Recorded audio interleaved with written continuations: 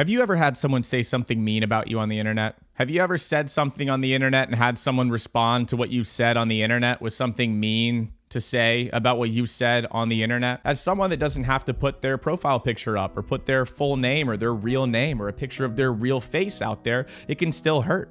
But as someone that has to put their real name and their real face out there, it starts to hurt a little bit more. And it starts to hurt even more when you're a professional athlete trying to do your very best to entertain a fan base, and then a comment section just lights you up consistently and repeatedly. And so typically, a coach or a mental coach or someone that just really cares about you will tell you, hey, stay away from the comments, stay away from it altogether. You don't need that. You know who you are, you know what kind of competitor you are. You are the man or the woman man, you are awesome, you are great.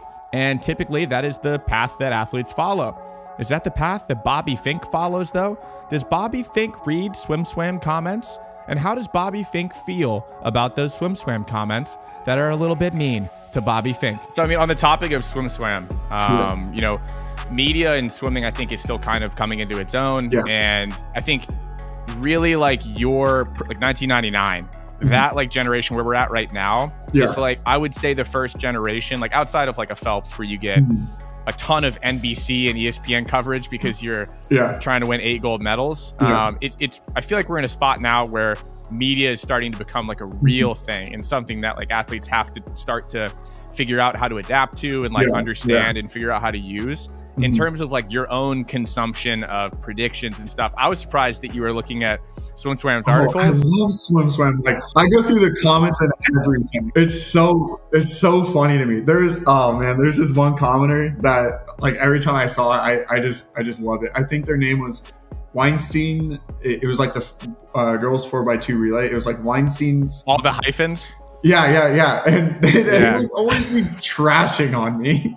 Like every like every prediction site, they're always trashing on me. I'm like, thanks, man.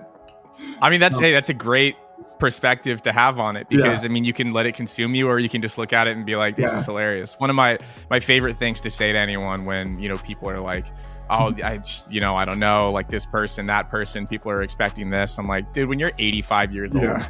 Is it gonna matter? No one is going to care. You know what I mean? Um, so I mean, it's it's great to see that you have that outlook because yeah, I mean, I think media is starting to get like a lot more interesting in swimming. And I mean, yeah. especially it's like why I brought up that first question at the mm-hmm. beginning of our conversation with like leading up to this world championships. It yeah. felt like this mile and the 800 yeah. were like the races yeah. to watch, which like normally, like like you were talking about, you're like, yeah. we're gonna run a commercial during my yeah. race. Yeah. And luckily we're starting to at least see the side by side. And this time we got the whole race. Yeah. Which if they had gone they away knew. from that race, I would have been so upset. um, but yeah, no, it's it's great to hear that you have that perspective on it mm-hmm. and that it's like something that you can sit there and laugh at. Um, no, so yeah, I, I, that's I, great. I love the comment. That's oh, awesome. Hopefully, we yeah. get some good comments on this one. Go go nuts in the comment section on. Yeah, yeah. I don't know, call, telling Bobby that he's he's never gonna I, amount I, to anything. They're funny. I, I love them.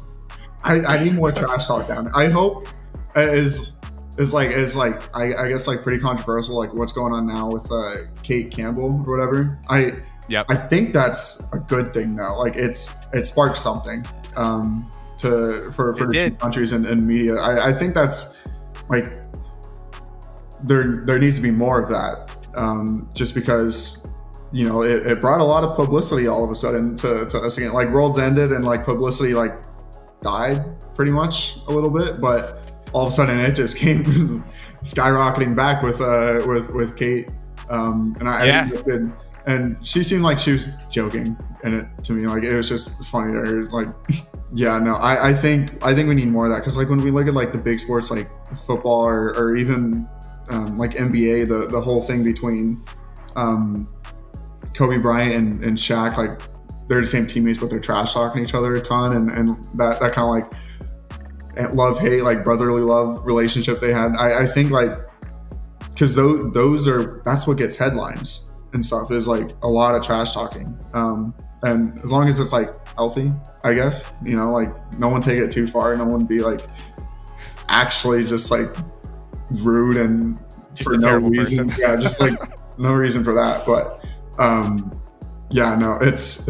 I loved all the comments coming after that too. It's just like we're gonna bring in a giant cowbell now and just start yeah, for now. yeah, but yeah, I mean, I'm I'm on board with it, and obviously, like, I'm biased because I, I saw the numbers on yeah. you know those videos and the the comments that were being made, and I was like. Yeah you know, this is a very, very small thing. Yeah. you know, yeah. she the, she went in on us, yeah. and you know, there definitely is a little bit of like a humor barrier between yeah. like. Aussie humor and you know, states stateside humor because like Aussies are just a little bit more intense. Yeah, and they they're, also they're I just like think have a lot thicker you. skin. Yeah. Yeah, exactly. And so there was probably a little bit of like lost in translation, but I also feel like it was it's like she meant what she said. yeah, which I mean, I am back there. I know how loud we get. like we got like a tiny taste of it, like with uh, le Clos and, and Phelps back in like 2015. Um, but after that, it kind of like went absent a bit, and then well until Lilly and uh, Efimova had very tiny um, thing in 2016. Um, but then after that, it kind of went a bit dry. I think I might be missing something, but yeah, no. I, I mean, Sun Yang that, oh yeah, yeah, the thing with Mack Horton, thing. yeah. Um, so there's always there's always something going on, but I think Cate's was was pretty good. I, yeah, I, we we need it more often. We can't just have like once every other couple years or so. You know. Yeah, um, and that's the tough thing or tough thing with swimming, like yeah. in general, is we do the big gaps, yeah. right? You know, we do the oh here we go, here we go, here we go, and then and then it kind of fades away. Yeah. Um, but you know, with the the rise of like consistent media and hopefully you know i think we're seeing a lot more events pop up and a little bit more depth and like yeah you know it's it's just a snowball effect all it takes is one thing and then we get another thing and another thing and another thing and yeah i mean i actually i brought this story up before but mm-hmm. i won't name him even though i think i did in like another podcast or something i had a I think he was 13 at the time, and this is probably going to give it away. I had a 13 year old DM me mm-hmm. and like basically say, "Yo, watch my race today," and I was like, dude, if Are imagining you... myself calling my shot like that, he ended up breaking a national age group record yeah. by, and if you know anything about swimming, you know exactly who I'm talking about. Yeah. By like three seconds. Yeah. And I was like, this kid's gonna be a problem yeah. in the NCAA yeah. if he's DMing me calling his shot. And I mean, like, it's just even something like that. Mm-hmm. You know, you don't even have to trash talk other people. You can be like, you know, imagine if Leon was like, I'm gonna go under 330 in the 400 IM. It's like, yeah. I mean, come on. Yeah. Are you kidding me? Yeah. And then he goes 328, and he can be like, yeah, told yeah. you. But yeah, I agree. Yeah, consistency. It's hard to.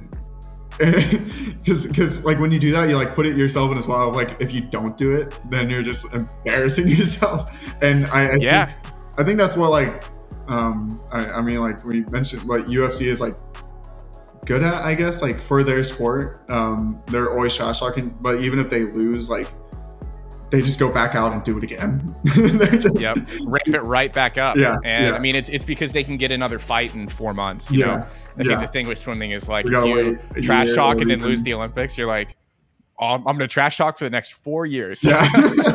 well, would you look at that? Bobby Finke does not give a about what you say about him in the SwimSwam comments section. If you like that Bobby Finke does not give a what you say about him in the SwimSwam comments section and that it makes him even more of a dog than he already was, well, go like the video, then drop a comment telling Bobby Finke he's a dog for not caring what people think about him online. Subscribe if you want more videos like this to pop up on your homepage, and I'll see you in the next one. See ya.